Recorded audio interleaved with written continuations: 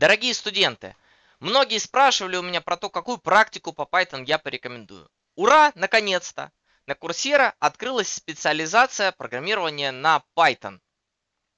Второй курс этой специализации – объектно-ориентированное программирование и паттерны проектирования – подготовили преподаватели кафедры информатики МФТИ, в том числе и я. Для нас это был очень большой многомесячный труд, и я очень рад, что могу наконец поделиться с вами его результатом.